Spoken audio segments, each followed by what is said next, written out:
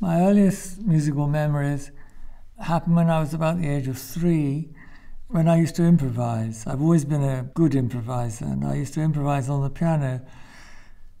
And I used to have a captive audience in my maternal grandfather because he used to clap at the end of my representations of lightning, thunder, rain, and all the rest of it.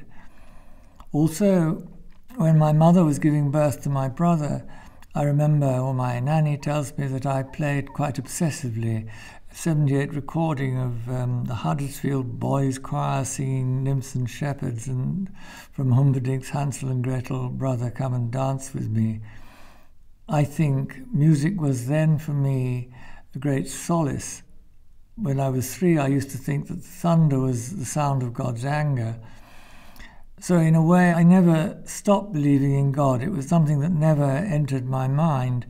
As Inayat Khan has written, music is none other than the sound of the beloved. And although at the age of three I had no idea about Inayat Khan or Indian Sufis, I think it was true for me at the age of three as it's been all through my life. I used to listen to Handel in the form of Solomon also in the form of uh, Solomon arranged by Sir Thomas Beecham, because I had the 78 records of this. At a later stage, I listened to Bach because my father took me to concerts of the St. Matthew Passion, and I used to hear people like Kathleen Ferrier singing the contralto parts, with Peter Pears singing the evangelist and I also was taken to concerts of Indian music from a very young age uh, by my mother.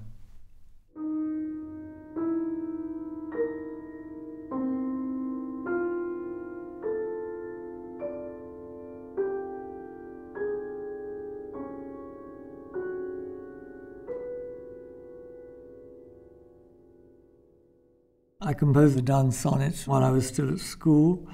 They were something that seemed to come out of me. The music was first performed at a concert given by the London Bach Society with Paul Steinitz conducting. And it was the first time that I'd really heard a piece of music played professionally of mine. And it had an extraordinary effect on me. And I remember a composer coming up to me afterwards. I don't know whether it was Anthony Milner or Nicholas Maw, because both those composers were present, and said, Did I always write such dark music? I can see that the music is metaphysically dark. But another story relating to the Donne sonnets was that Madame Ampanoff, who was then the head of Boosey and showed the score to Igor Stravinsky. And I was taken at a later date to meet Stravinsky when he came to the Royal Academy of Music. And I remember I was introduced to him, and he gave me the score back, and all he'd written on it was, I know. I don't know what he knew.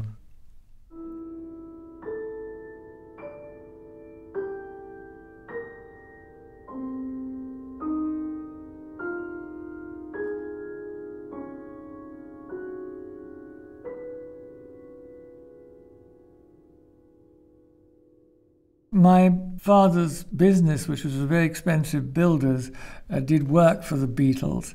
At that time, I must say, I enjoyed listening to the Beatles. I've never enjoyed greatly pop music, but I was introduced to Yoko Ono and John Lennon in a dinner party in Knightsbridge.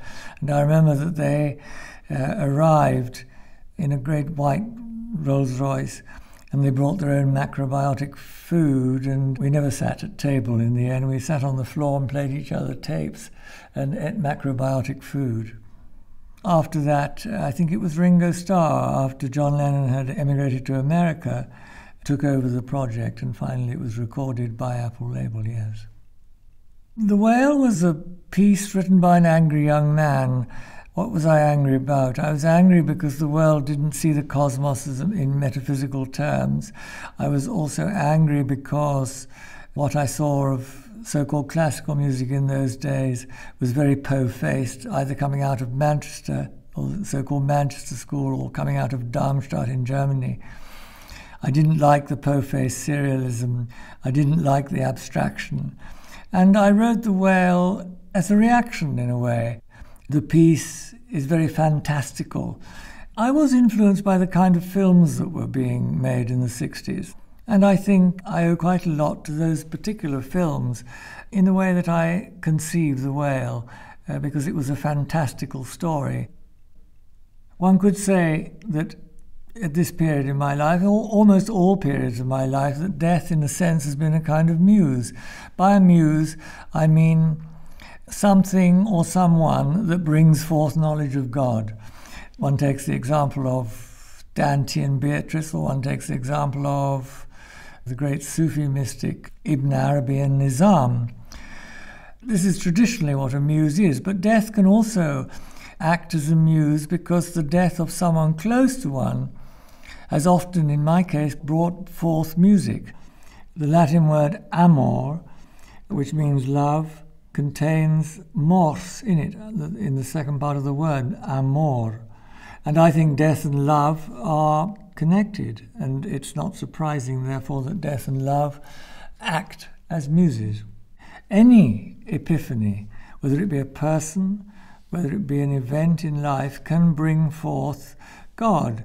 And for me, if God is brought forth, then that brings forth music, because as I said before, Inayat Khan says, the sound of music is none other than the beloved. And there is only one beloved, and that beloved is God.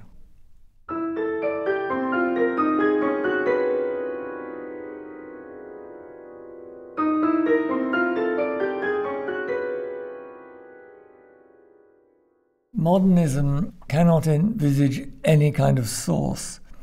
Modernism, in my experience of it, and it isn't something that I have turned my back on totally, I listen uh, to the music of modern composers, I listen to the music of young composers, but I've never found, as yet, anything within modernism that has brought forth God. I've never found anything within it that I'm able to interiorize. And if you cannot interiorize a sound, then clearly the music has no spiritual possibility. One could take one exception. One thinks of the music, I think of the music of Webern, for instance, as miraculous and as a true epiphany. He was a mystic, a, a nature mystic. Uh, his early music is wonderful because one's no idea where it comes from. And then the late serial music, the two cantatas, the late piano variations, this music can be internalized because it's so transparent. I had a wonderful teacher in someone called David Lumsden who introduced me to modernist techniques and modernist ways of doing things and took me to modernist concerts. And I'm very grateful that he did so. The fact he said that I would probably reject 93% of them. I think I basically reject 99%.